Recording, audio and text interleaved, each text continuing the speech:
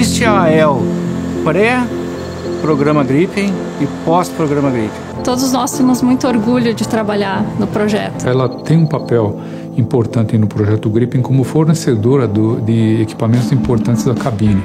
A AEL ela está desenvolvendo, fabricando três sistemas distintos.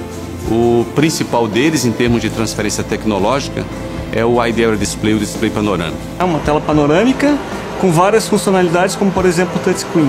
O AD ele faz a fusão de todas as informações da aeronave. O segundo programa que nós temos de projeto e produção é o HUD, que é o Head Up Display, que é o display que permite que o piloto olhe para fora da aeronave e continue enxergando todas as informações que ele precisa. Esses displays eles são importantes porque é através deles que o piloto tem todas as indicações de voo e de missão. E o terceiro programa que nós temos é o capacete. Uh, o capacete ele também projeta todas as informações da mesma forma que o HUD, só que ele dá uma flexibilidade ainda maior para o piloto a AEL deu um salto tecnológico imenso.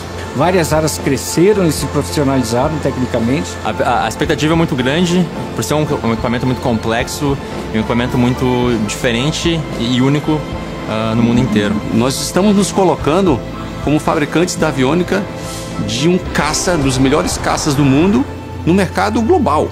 É muita coisa.